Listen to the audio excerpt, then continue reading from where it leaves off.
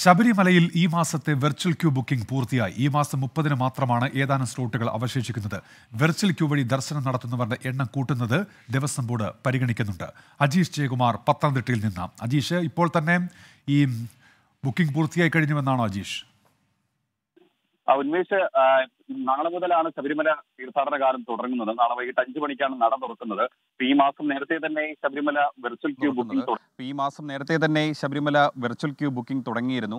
ഈ മാസം പതിനഞ്ചാം തീയതി മുതൽ ഇരുപത്തി ഒൻപതാം തീയതി വരെയുള്ള എല്ലാ ബുക്കിങ്ങുകളും പൂർത്തിയായെന്നാണ് ഇപ്പോൾ ലഭിക്കുന്ന വിവരം.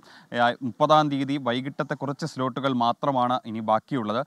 പ്രതിദിനം എഴുപതിനായിരം പേർക്കാണ് വെർച്വൽ ക്യൂ വഴി ബുക്കിംഗ് ഉള്ളത്. ഇനി സ്പോട്ട് ബുക്കിങ്ങിന് പകരം തത്സമയ ഓൺലൈൻ ബുക്കിംഗ് സൗകര്യമാണ് ദേവസ്വം ബോർഡ് ഏർപ്പെടുത്തിയിട്ടുള്ളത്. മൂന്ന് സ്ഥലങ്ങളിൽ മാത്രമാണ് അതിനുള്ള സൗകര്യമുള്ളത്. പമ്പയിലും എരുമേലിയിലും വണ്ടിപ്പെരിയാറിലുമാണ് അതിനുള്ള സൗകര്യമുള്ളത്. പക്ഷേ കൂടുതലും പേരും ആ വെർച്വൽ ക്യൂ വഴി ബുക്ക് ചെയ്യണം എന്നാണ് ദേവസ്വം ബോർഡ് ആവശ്യപ്പെടുന്നത്. അതുകൊണ്ട് തന്നെ ഈ തിരക്ക് കൂടുന്ന ഒരു ഘട്ടത്തിലായതുകൊണ്ടാണ് ഈ എണ്ണം കൂട്ടാൻ ബുക്ക് ചെയ്യുന്നവരുടെ വെർച്വൽ ക്യൂ വഴി ബുക്ക് ചെയ്യുന്നവരുടെ എണ്ണം കൂട്ടാൻ ഇപ്പോൾ ആലോചിക്കുന്നത്. എന്തായാലും Devaswom special commissioner Sabarimala special commissioner ഹൈക്കോടതിക്ക് ഇത് സംബന്ധിച്ച് റിപ്പോർട്ട് നൽകി. ഹൈക്കോടതി ദേവസ്വം ബോർഡിനോട് ഉചിതമായ തീരുമാനമെടുക്കാനാണ് നിർദ്ദേശിച്ചിരിക്കുന്നത്. ഇതിനെ തുടർന്ന് ദേവസ്വം ബോർഡ് പ്രസിഡന്റിന്റെ നേതൃത്വത്തിൽ ഇന്ന് ശബരിമലയിൽ അവസാനവട്ട അവലോകന യോഗം ചേരും. ആ യോഗത്തിലായിരിക്കും ഈ പോലീസിന്റെ കൂടി നിർദ്ദേശം അനുസരിച്ചുകൊണ്ട് ഈ ബുക്കിംഗ് എണ്ണം കൂട്ടുന്ന കാര്യത്തിൽ തീരുമാനമെടുക്കും. അങ്ങനെയാണെങ്കിൽ എൺപതിനായിരം വെർച്വൽ ക്യൂ വഴി എൺപതിനായിരം പ്ലസ് ഈ സ്പോട്ട് ബുക്കിംഗ് പതിനായിരം. അങ്ങനെ തൊണ്ണൂറായിരം പേർക്ക് പ്രതിദിനം ദർശനം നൽകാനുള്ള ഒരു സാധ്യതയുണ്ട്. അത് വൈകിട്ടായിരിക്കും അതിനുള്ള അന്തിമ തീരുമാനമെടുക്കുക.